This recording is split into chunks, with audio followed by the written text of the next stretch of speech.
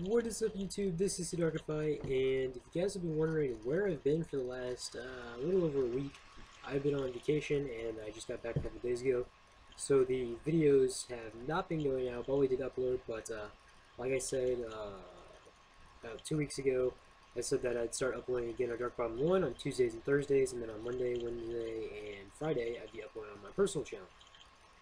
Now, I won't be uploading on the weekend since I'll be uploading every day.